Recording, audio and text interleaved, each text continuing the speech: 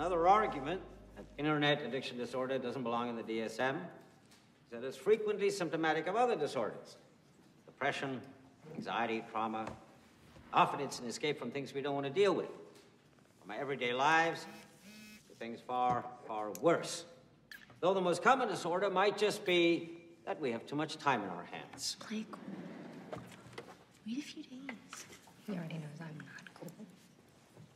I think we might have an excellent example of internet addiction disorder right here in class. Aside from Miss Woodson and Miss Matheson, does anyone else here experience symptoms